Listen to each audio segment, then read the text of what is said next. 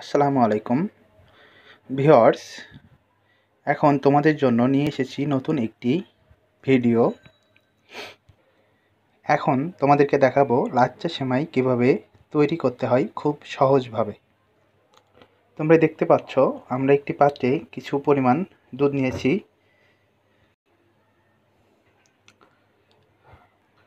আমরা একটি পাত্রে এক কেজি দুধ নিয়েছি। দুধ নেওয়ার পরে আমরা পরিমাণ মতো লবণ মিশিয়ে নিয়েছি। মিশিয়ে নেওয়ার পরে দুধটাকে জাল দেওয়া হচ্ছে এবং এটা যত বেশি জাল দেওয়া হবে, তত বেশি সুস্বাদু হবে। আপনারা এটা টেস্টের উপরে যেভাবে পারবেন সেভাবে জাল দিয়ে নেবেন।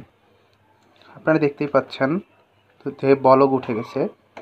এখন এর সঙ্গে আমরা পরিমাণ মতো চিনি মিশিয়ে নিব ওকে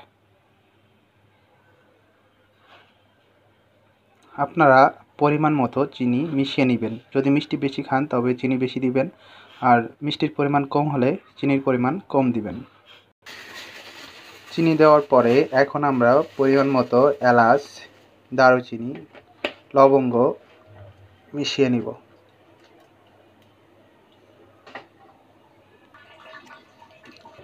সেটা তেজপাতা দিব। দুইটা তেজপাতা দিলেই হয়ে যাবে।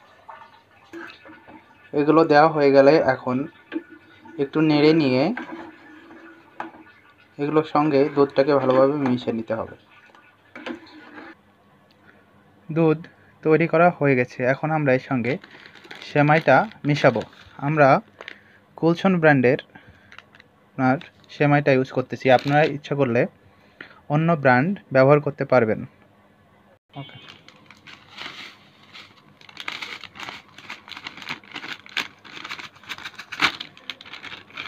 সেমাইটা দেওয়া হয়ে গেছে। এখন এটাকে ভালোভাবে দুধের সঙ্গে মিশিয়ে নিতে হবে।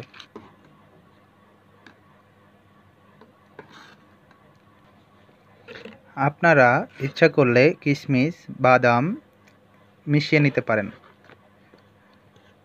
এটা আপনাদের ইচ্ছা মতো মিশিয়ে নেবেন, যতটুকু আপনাদের ইচ্ছা হয়। আমরা এটা পছন্দ করি না, যার কারণে মেশানো হয় নাই। সো গাইস এভাবে আপনাদের তিরিশ থেকে পঁয়ত্রিশ মিনিট রেখে দিতে হবে।